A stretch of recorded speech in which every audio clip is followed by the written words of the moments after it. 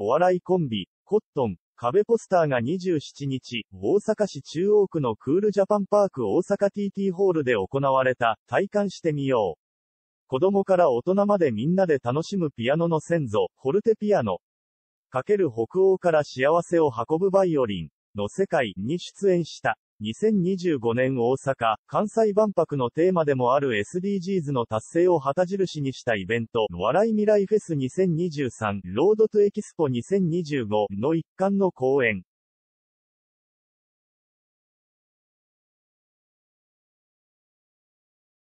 西村真二39は SDGs の取り組みに関して、コントの小道具も手作りが多いのですが、チケットであれば、ぎゅっと握るのではなく握る演技だけを心がけています。あと喫茶店のコントは紙ストローです、と裏話を明かした。長見大吾33は、エコバッグは何回も使えるのがいいなと。